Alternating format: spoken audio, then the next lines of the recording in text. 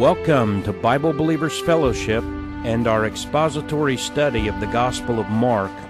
We are in chapter 9 and verses 1 through 10 as we look at the kingdom of God in power.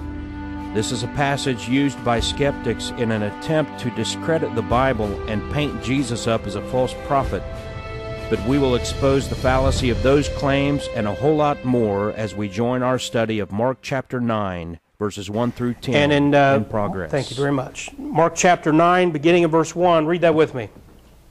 And he said unto them, Verily I say unto you, that there be some of them that stand here which shall not taste of death till they have seen the kingdom of God come with power. Now look closely at that verse. Because people think it's saying something it's not saying. And then they had their faith challenged. And some folks are out there running around claiming that they reject Christianity because of this verse. He said unto them, Verily I say unto you, that there be some of them that stand here. So he's talking about his closest disciples that we call the apostles, which shall not taste of death till they have seen the kingdom of God come with power.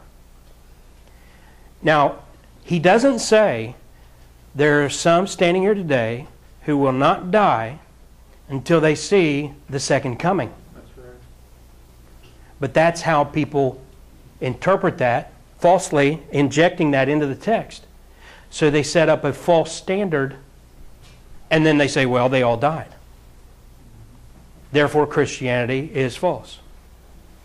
And, folks, I'm telling you, there are people, some of the most well known skeptics through history have said that this was what tripped them up. So let's ask, ask the question is this lies or is it false prophecy? What exactly is being said here? I want you to read it again. Read it with me.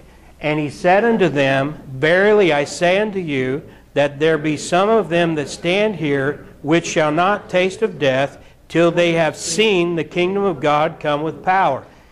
Now, take all any preconceptions you have. You should always do this.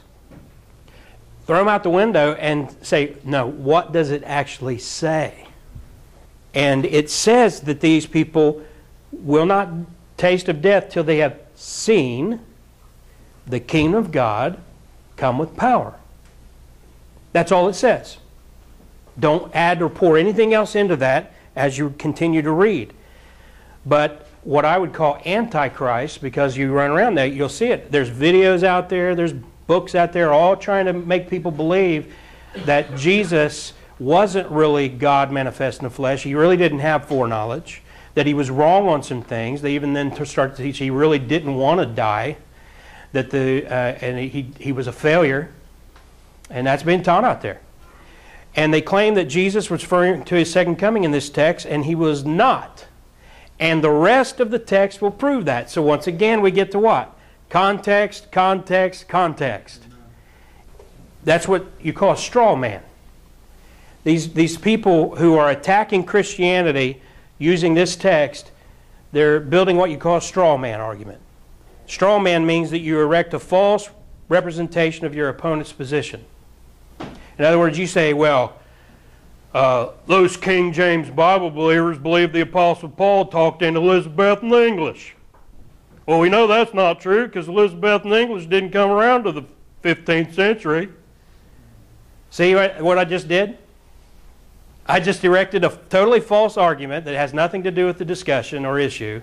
I tore it down because it's true. Paul did not talk in Elizabethan English. And now, voila, those King James Bible believers are crazy. well, no, what you just did was set up a straw man and then destroyed the straw man, but you haven't actually proved a thing. So when you take this verse we just read and you say, well, Jesus said some of the apostles wouldn't even die before he set up his kingdom. Well, you just set up a straw man because that's not what he said.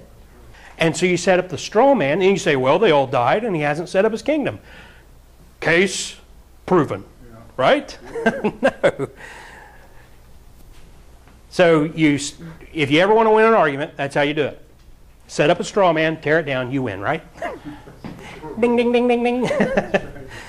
no, that's just dishonesty. So let's continue reading and keep that in mind as we read because he just said that. And now the Holy Spirit is going to lead Mark to show what it meant. Isn't that interesting? How many times you have a question in the Bible, and if you just keep reading, you get your answer? And he just said, Jesus said this, and. So when you see the word and, that means it's connected. It's, it's a, a, a junction, a conjunction. Is that what the word is? Conjunction? It's like you take a train. They showed that on the cartoon. I remember it. They took a word here and a word there, and they clipped them together, and now they're stuck. Well, that's what the word "and" means. It's it's connecting you to the previous. You know, it's like the the engine, and then the car, and the caboose. You know, that's how it works. It's so simple, and yet some of the greatest minds who have ever lived can't get that. These are supposed to be some of the smartest philosophers who've ever lived. So, with all that, let's read verse 2. Read that with me. And after six days, Jesus taketh with him Peter and James and John, and leadeth them up into an high mountain apart by themselves, and he was transfigured before them. Um, we call this place where they gathered the Mount of Transfiguration. You heard it called that? We don't have any idea where it's at. Uh, what we do know is that Jesus was transfigured. You say, well, wonder why that is. Well, I think there's times where God is vague about locations because people are so pagan. I mean, they go right now to where they believe David was buried, and they set up a grove. It's, when you go to Israel, if you say, I want to see where Jesus died, you better be careful because there's where he died, and then there's where they say he died. There's a church built over one place where they say he died, and then there's Golgotha, the place of the skull. And I think that the vagueness here is because people, if they knew where this is at, they probably have a church up on top of it, or they would set up groves and shrines. And for some reason, they always put a statue of Mary there. I mean, um, but that's probably what they would do. Well, I just find this very interesting. The word transfigured is the word metamorpho, which is the same word later used about our glorified bodies. So when you see this about Jesus being transfigured, he's being glorified. And for a short moment, they see Jesus glorified, transfigured. Um, uh, English transliteration would be our word metamorphosis. And um, the definition uh, given for the word metamorphosis is to change into another form or transform, to transfigure. And in, then you go to the King James, and you read what we're about to read, and it tells you what that looks like. so Jesus is being metamorphosized, he's being transformed right before their eyes. We refer to this as the Bible's built in dictionary. Now, there's nothing wrong with consulting a dictionary if you need to know what a word means in the Bible, but you should take what you see in that dictionary, especially if it's new. Don't trust the new dictionaries. They are changing definitions to meet what we could call uh, inclusive and modern ideas. For example, marriage in one of the new uh, dictionaries now says two persons instead of a man and a woman brought together legally in holy matrimony. It says two persons. No, it's a man and a woman. But you got to be careful. Uh, what is it, Mariah? They, is it the 1828 Webster's? And um, folks, I mean, don't get all you know snooty about the 1611 and say it's outdated. There's language I used in the 1980s that's outdated. we used to say, "Ooh, that's bad." Mmm my parents, you know, their generation said, "Ooh, that's groovy," like yeah. groovy. Got grooves in it? What? I want to bring that up. Uh, Mike said it is uh, a, a, form of the same word when it, the Bible says that Satan is transformed into an angel of light. He actually is transformed. The new versions change that and say he masquerades. Your new Bibles are wrong. Satan doesn't masquerade, he is able to transform. Listen, folks, go back to Genesis. The angels left their first estate and became human like, and then went into the daughters of men, and then brought the offspring called Nephilim, which were the giants. And that was at the time of Noah, and the Bible says, as it was in the days of Noah. And if you look around, you're seeing a lot of evidence of this kind of weird stuff going on. So you're using the new versions. I got to warn you. Um, but uh, so I guess we want to specify the King James Bible has a built-in dictionary as you read it. So if you read carefully and you read the context, you'll see. Now, what does it mean to be transformed? You don't have to know metamorphosis. You don't have to know Greek. You read the next verse. Read it with me. And his raiment became shining, exceeding white as snow, so as no fuller on earth can white them. Now, I've heard people say that's all archaic and everything. Well, I was listening to some uh, radio programs just in the 1930s and 40s, and the advertisement was Rinso, and that's detergent. And I saw some confusion on some faces back there. And they said almost exactly what this verse said. It will take those dirty clothes and turn them white as snow, better than any fuller you can find out there. How archaic is the King James Bible when that was just a few years ago they were talking like that? And that's what it means. It's saying that if you could take those clothes and wash them in rinso, it would still wouldn't be as white and as bright as the transformed Jesus. What you see. So what does transformed mean? Right there. You just got your definition. Over and over, you see that, folks, if you watch for it. You say, Oh, I don't even know what this means. Poor me. Oh, read the next verse. Oh, okay. it's that simple. I, I, you know, I try not to be um, condescending. I get these letters, and people try to correct me on our position on King James, and they say, People can't even understand that Bible, and it's so difficult. And by the time they figure out what the words mean, blah, blah, blah. I said, Listen, you know, I'm not trying to be mean, but my daughters, they were, you know, didn't even have all their teeth yet, and they were reading the King James Bible. Um, my best friend, my best man in my wedding, his uh, dad was saved in his 40s with an eighth grade education. He never picked up anything but a King James Bible, never read any other book in his life, but he read the King James Bible. I mean, it's all about do you really want to know God's Word and how lazy are you? That really is what it comes down to. I mean, I know people who will sit and read Shakespeare and all this other stuff. That's much harder than the King James Bible. You know, how hard is it to sit down and if you don't understand, keep reading a little bit and you see what the words mean. And that's what you just saw an example of. I've had people ask me, what does that mean, transfigure? I said, read the next verse. and then they're like, oh, wow. I said, now every time you come across that, read the next verse. now, here's an artist rendering that I actually like. Um, I don't like it when you can see the details of Jesus' face because we don't know what he looked like. But you see Jesus here being transformed and the brightness. Now, um, in the book of Revelation, uh, we'll see uh, a, a description of him in his glory and it'll include white hair, white like wool, and uh, and some some other descriptions. But that I thought that was a really great. Uh, I always, you know, if I could draw and paint, that's the kind of stuff I try to produce. But look, I like how it shows the men. They're they're hitting the ground. They're you know they they're not just standing there saying, "Hey, Jesus is my homeboy." You seen those T-shirts? And, and, they, and these TV preachers, they'll say, Oh, Jesus showed up at the bed, foot of my bed last night and we had ourselves a little conversation. Uh, no. That's how you're going to act if Jesus shows up. You're going to hit the dirt. Woe is me, I am unclean. Now look who shows up here in verse 4. Read that with me. And there appeared unto them Elias with Moses, and they were talking with Jesus. Elijah and Moses show up, I thought they was dead. God is not the God of the dead.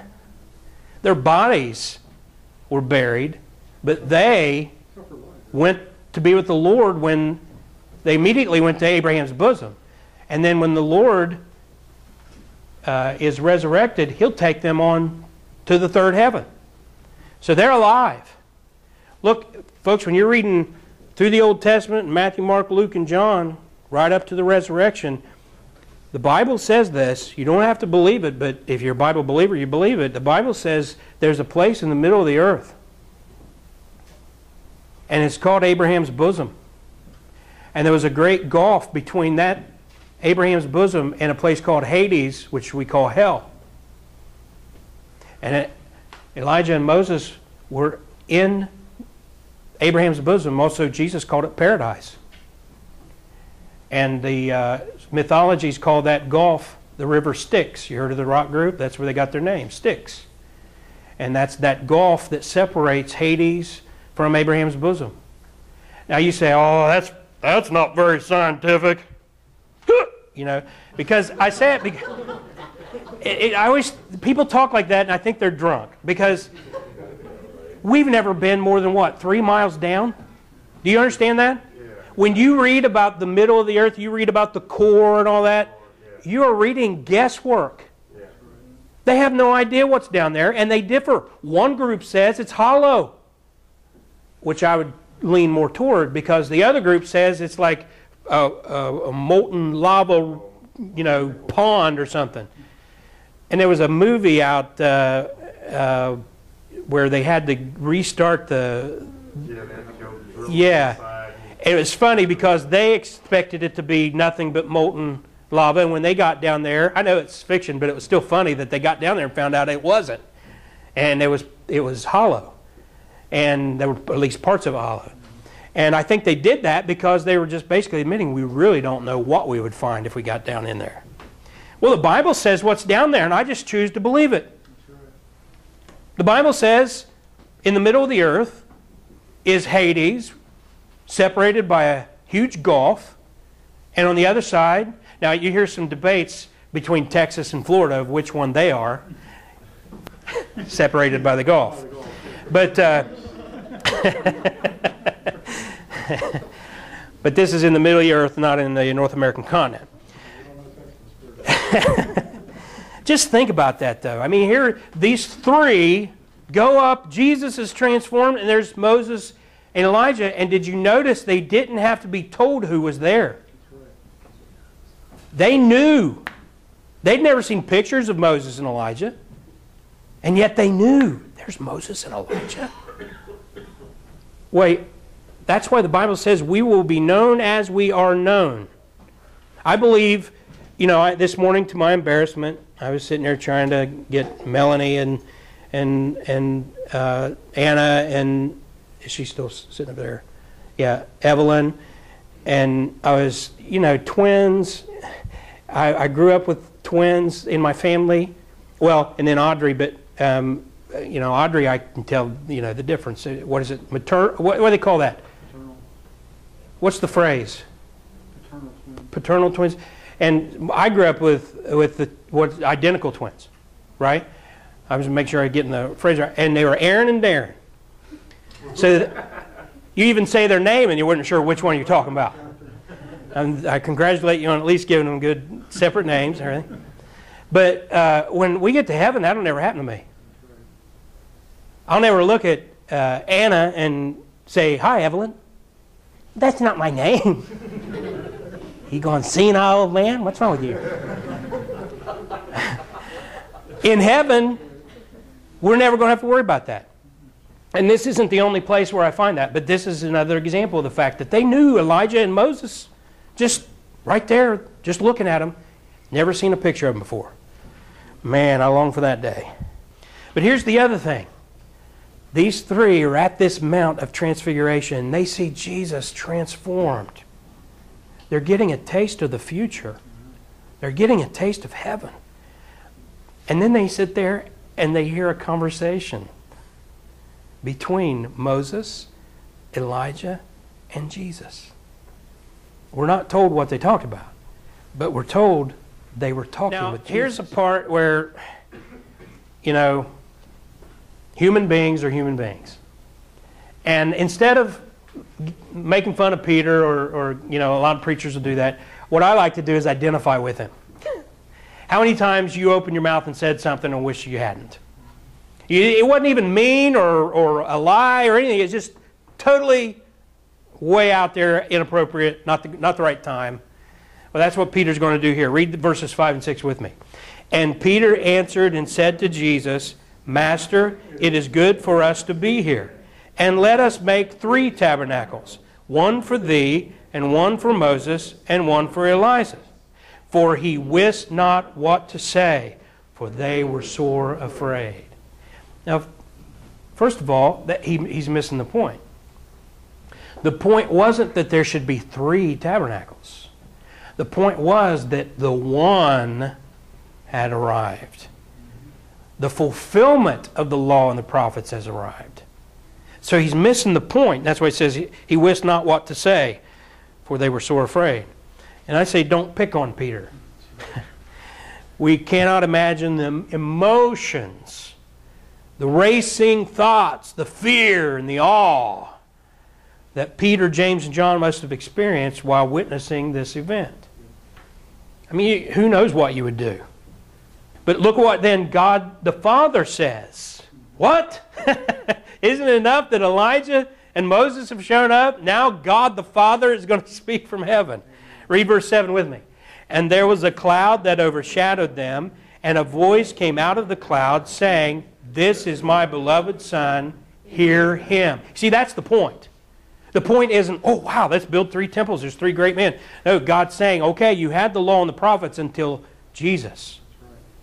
Now my son is here, hear ye him.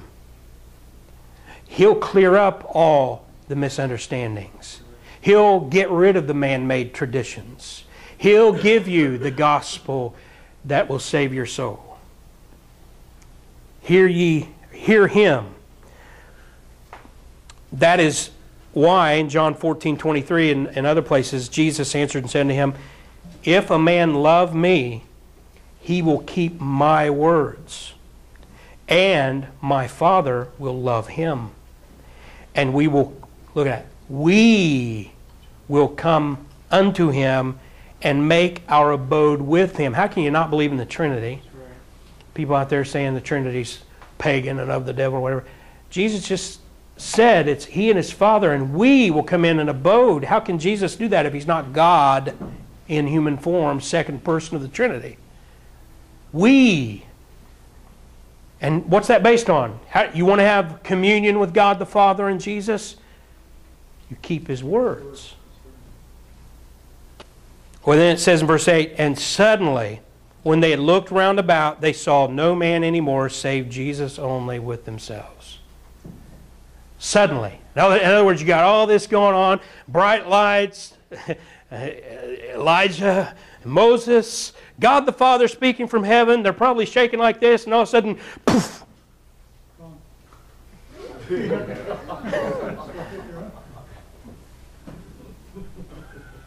what just happened? Pinch me. An amazing thing. I, I just can't even imagine. And it says, as they came down from the mountain, he charged them that they should tell no man what things they had seen till the Son of Man were risen from the dead. And they kept that saying with themselves, questioning one with another. Did you see what I saw? What the rising from the dead should mean.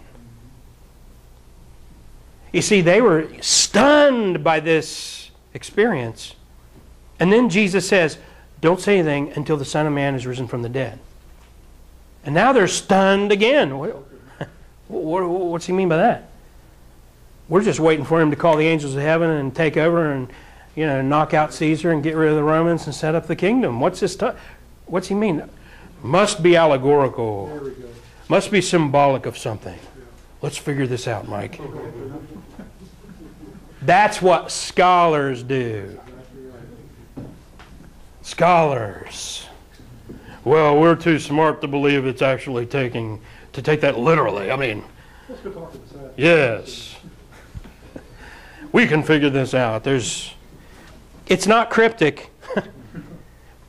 Jesus was telling them what was about to happen, but they allowed their own preconceptions to keep them from believing. I think that's what's happening today with the rapture, for example.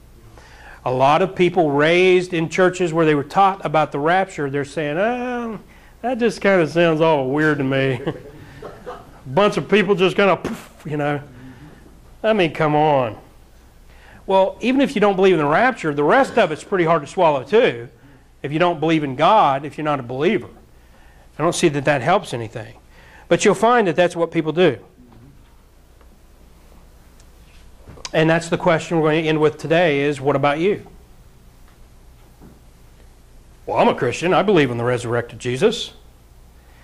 Well, do you believe it? Do you really know what that means? Have you really meditated on it? Have you really looked at the evidence so that you have a reason like they say they say why do you believe what you believe? It's kind of a funny question because it's kind of undermines the whole definition of the word believe if you just kind of willy-nilly say, "Oh, I believe that." Why? Because I do. Wait a minute. So you go and you go to school or you go around some other friends or you go around other people at work and then they start questioning the resurrection and you're like, well, I never thought about that. Oh, that's a good question. Maybe he was just a ghost. That's what the Mormons and the Jehovah's Witnesses teach. Maybe he didn't really rise bodily. Or then you can just, you know, buy the lies of, well, he actually probably just swooned and it was a resurrection, but it wasn't really a resurrection, you know. Well, there have been a lot of Christians, professing Christians, get tripped up over that stuff. Why? Because they kind of just floated along and, you know, didn't really get too deep into all this stuff. And then when they grew up, became adults, they were hitting the forehead with it. And because they were shallow, see, that's my greatest criticism of contemporary Christianity today inch deep and a mile wide. You need to be deeper. Really think about what you believe and why you believe it. We're told to be ready to give an answer for the hope that is in us. That's our hope. Our hope is the fact that God became a man and died on the cross to pay for our sins. With divine blood shed, He paid for our sins. Was buried and demonstrated His deity and His power over death by raising His self, His own body, from the dead. Anything short of that's a false gospel. Anything short of that is a false faith. You need to nail that down in your heart and mind. Do you really believe Jesus paid for all your sins? Or are you trying to pay for your own? Do you really believe that Jesus conquered sin and death and raised his body from the grave? And you'll find it'll make a change, it'll make a difference in your walk with the Lord when you really nail this down. And that gives you, you already have the hope as a possession. But it's different whenever you really put it on and wear it. Be sure to visit our website at kjvbiblebelievers.com, where you can find a wealth of MP3 audio message downloads, along with additional videos, articles, and links. This message is brought to you by Bible Believers Fellowship, P.O. Box 662, Worthington, Ohio 43085. I am Greg Miller. Thank you for listening.